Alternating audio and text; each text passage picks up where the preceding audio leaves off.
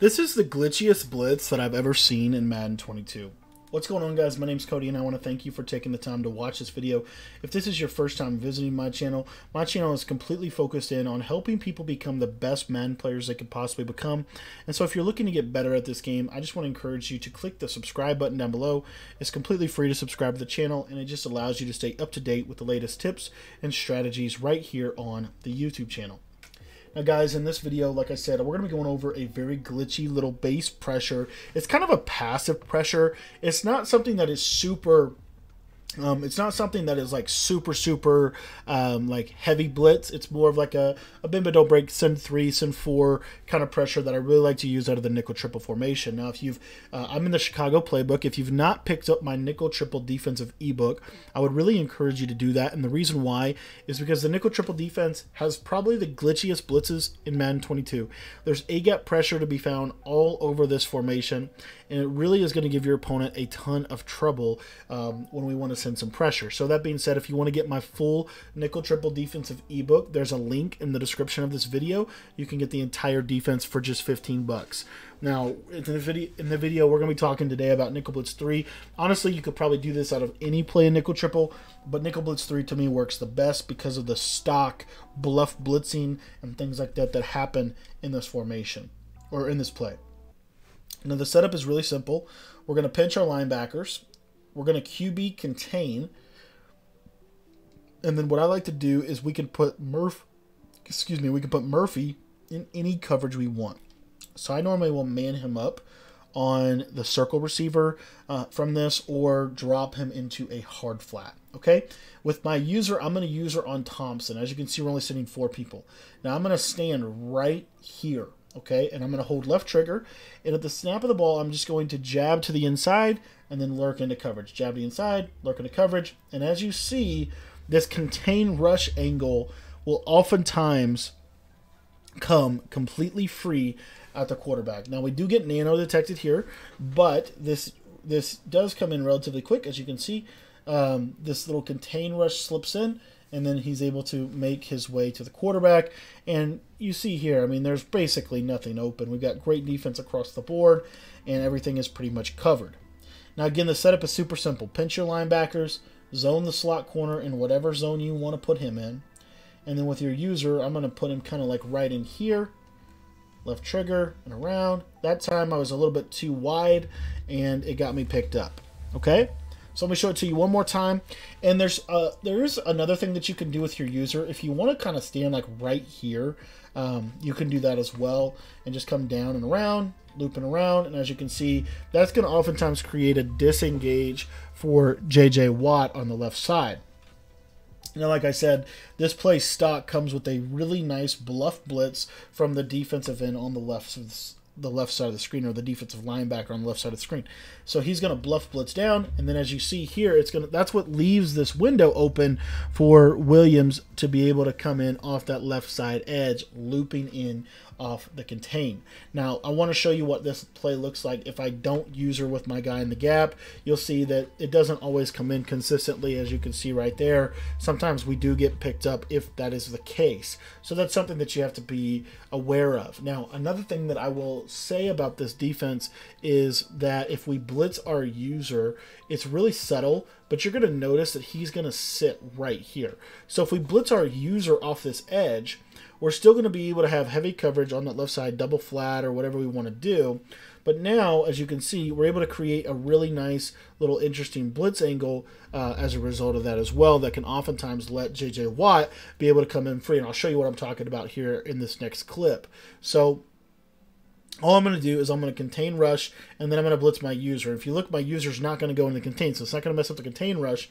So I could just sit like this, and as you see, there's that contain rush coming in completely clean, and it's going to do a little hezzy, and then it's going to come in at the quarterback. Now, we are getting nano detected, but I will tell you that in game, I found this to be a little bit more consistent as far as not getting nano detected. Um, and I will say, too, it, it doesn't get nano detected as much if you use if you use that blitz trick that I'm using with my user. So if I blitz my user, um, it's less likely for him to get nano detected in my experience with this blitz. So we're able to do something like this right here. And then if you want to, we can drop that defensive end on the right side. So you see now, look at what we've got. We've got some really glitchy blitz angles.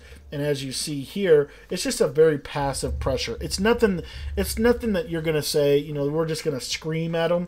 But I really like this blitz specifically for an example that I'm about to show you, which is when they QB, um, or not QB, but when they um, when they uh, put their tight end on a delay fade. What you're going to see is this contain rush will oftentimes open up different blitzing angles and allow us to get pressure whenever they delay fade their tight end. So I'll show you again what I'm talking about. We'll QB contain off this edge here, and then we'll just put this guy right here.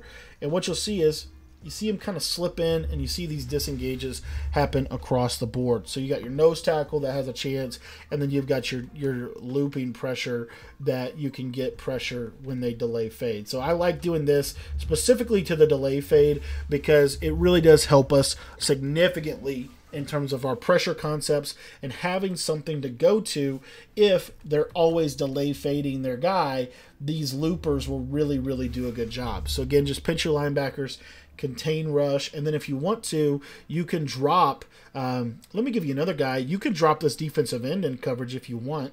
I mean, you can drop whoever you want. Just drop one or two people off the line, and oftentimes these looping angles will be very, very effective. So you could either drop the defensive lineman, or like I said, you could drop the slot corner uh, if you want to put him in coverage, maybe on the slot or whatever.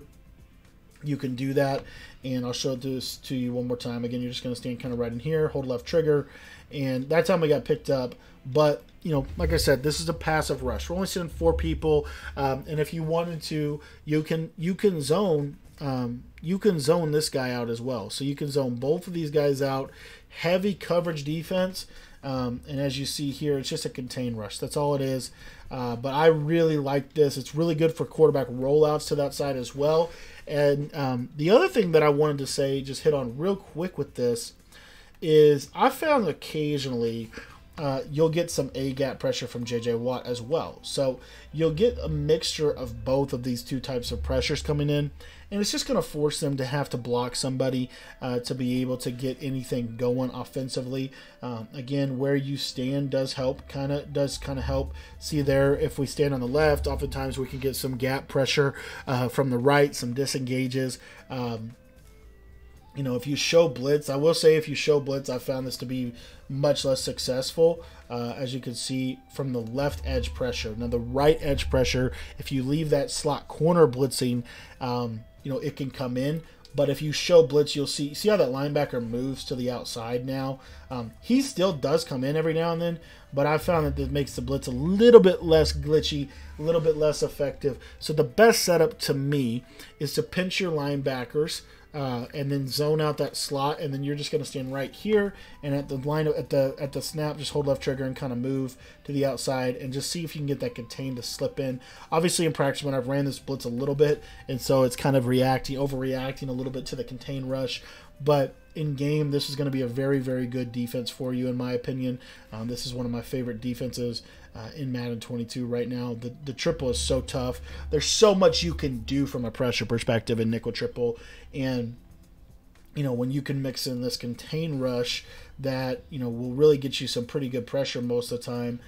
Uh, you know, it's it's gonna it's just going to be very difficult for their for your opponent to be able to send five out you know, he's not going to be able to send five out. He's going to have to block.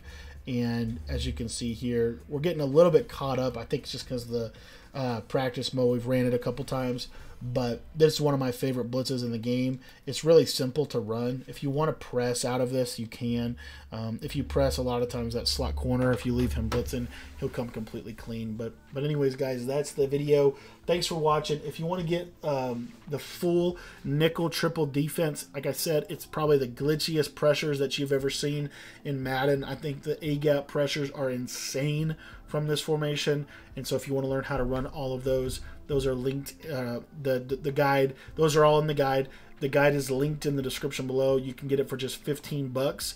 And uh, again, just go down to the description, click that link. It'll take you right to the website where you can get the ebook.